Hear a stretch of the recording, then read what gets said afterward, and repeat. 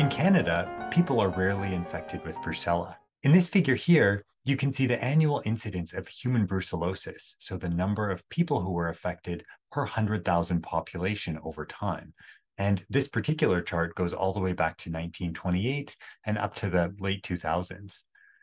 Um, so historically, we had a fair number of cases. From the mid 1940s through the 1950s, there was a really precipitous drop off in the incidence of disease in people.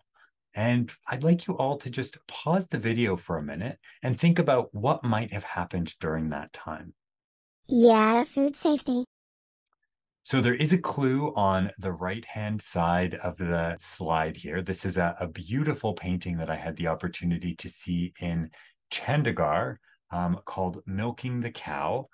And what happened in Canada during this period is that pasteurization became a legal requirement. So we pasteurized the milk, we killed any organisms that were present. And you can see on this figure the tremendous impact on public health that this had. In this figure here, so just from 2002 to 2021, you can see the number of cases we have annually, uh, somewhere between uh, 5 and 15. And at present, most of these cases are travel associated. So brucellosis is typically not domestically acquired in Canada. Brucella suis has never been reported in pigs in Canada. Um, this is again oftentimes a reproductive disease. In sows, we see infertility, abortions, and potentially fetal mummifications. And in boars, we see orchitis, um, so swelling, uh, infection, and potentially necrosis of the testicles. We can also see bony involvement leading to lameness, arthritis, or even discospondylitis. Similar clinical signs would be seen in pigs infected with either Brucella abortus or melitensis as well. Transmission of this organism is generally through the introduction of infected animals into the herd or through artificial insemination with contaminated semen. It's important to know that we potentially have wildlife reservoirs of Brucella suis, um, primarily rats and wild hare. So maintaining uh, biosecurity and preventing contact between wildlife um, and domestic species can be really important. In these images here, you can see just how enlarged an affected testicle will be. So on the left, we have a pig with Brucella suis, and you can see this testicle here is massively enlarged compared to the other one. Um, when we look at these opened up. Here we have our normal testicle on the left and the massively enlarged Brucella suis infected testicle on the right. So the lesions are very, very profound and very uh, recognizable. In Canada, the Canadian Food Inspection Agency works really hard to keep our domestic herd Brucella free. And this is a complex and sort of multi pronged approach including import controls, so we prevent introduction of animals or animal products from endemic regions. There's ongoing surveillance to detect positives as early as possible before it has time to transmit, investigating any suspect cases, so doing epidemiological traceouts to identify any other in contact animals, depopulation, where all infected and exposed animals will be humanely destroyed, decontaminating any infected premises, and then performing enhanced surveillance once a previously infected premise is restocked. So, monitoring those animals to confirm the absence of the pathogen. In Canada, we do have two possible uh, local wildlife reservoirs of several Brucella species Brucella abortus in bison and wood buffalo national park, as I mentioned, and then we also have rangiferine brucellosis. So this is Brucella suis biovar, biovar 4 um, in Arctic caribou. Brucella canis is entirely another story. Um, Canada is not Brucella canis free. Um, and in recent years, we've actually seen globally the emergence of Brucella canis, um, oftentimes associated with uh, the importation of dogs by international rescue agencies. So this paper here is hot off the press. It was just accepted for publication um, about two weeks ago, as at the time of filming this. And it describes how Brucella has really emerged in Europe and how it's becoming more common. Just like in our ruminant species, Brucella canis is oftentimes a reproductive issue. We see bitches aborting dead fetuses, um, and you should suspect Brucella in any abortion that occurs two weeks before term. So late term abortions um, should really raise red flags for you. Brucella canis is most easily identified and more commonly identified in uncastrated males.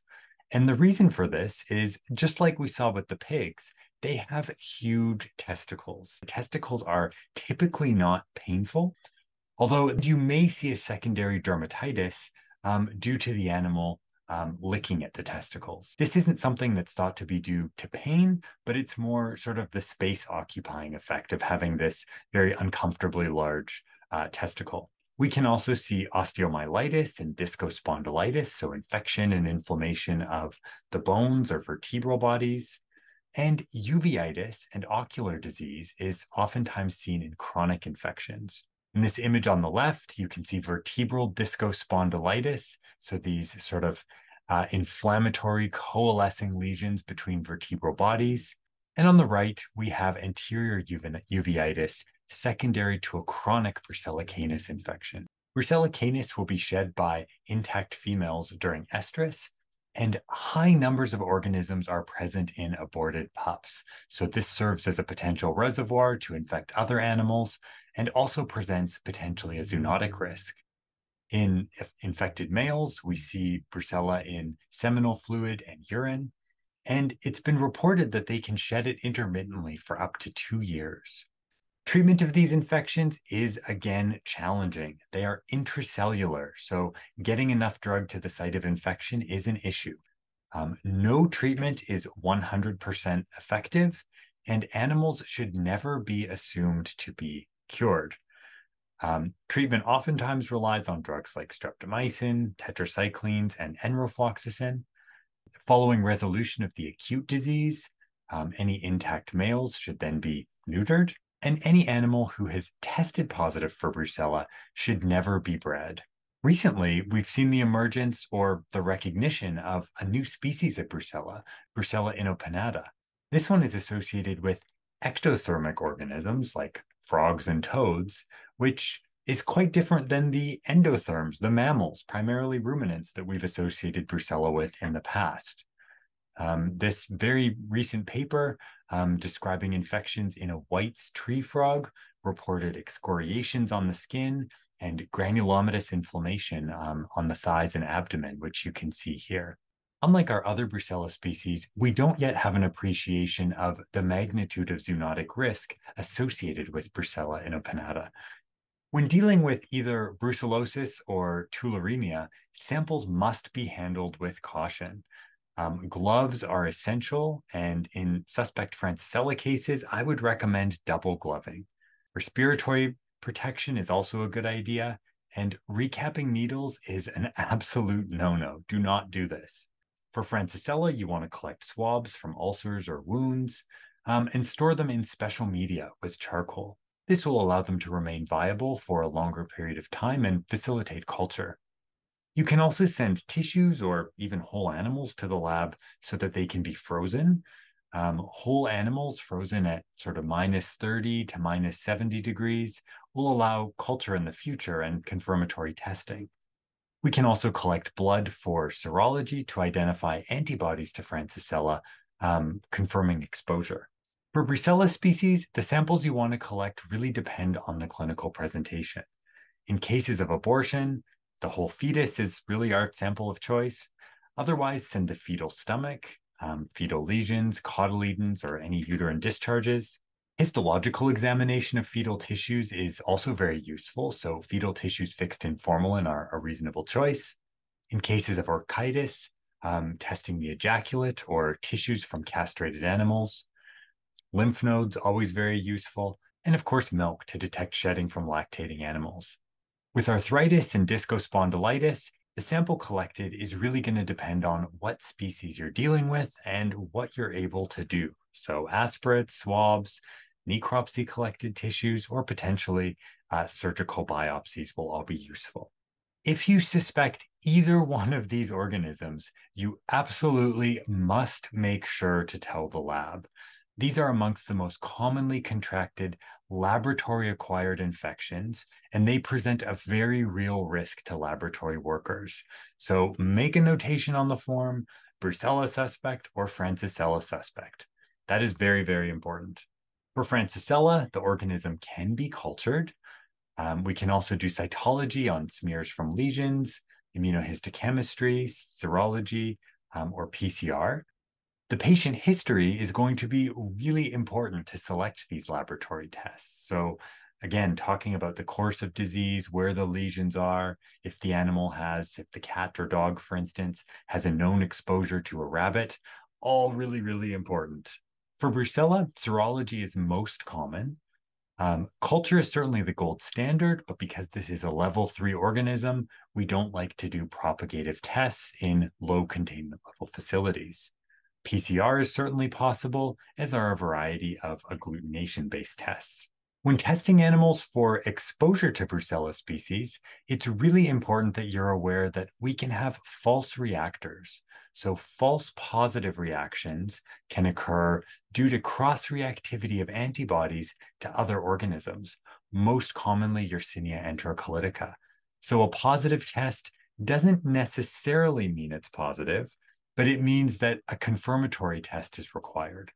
In this image here, what we're looking at is cytology of fetal abomasal content, so that fetal stomach, a great place to identify the etiology uh, which was responsible for the abortion. And what you can see here are these small uh, gram-negative coccobacilli. Um, this slide, again, is part of an archival collection um, we have now eradicated this organism from the domestic herd. So this dates back uh, several decades. Both of these genera are very important zoonoses. Um, Brucella infections in people are really challenging to diagnose. They can have a long incubation period from a week to three months and have a wide spectrum of presentations. Um, oftentimes, it presents as a chronic, non-specific type disease, so fever, chills, malaise, severe headache, myalgias, and potentially lymphadenopathy.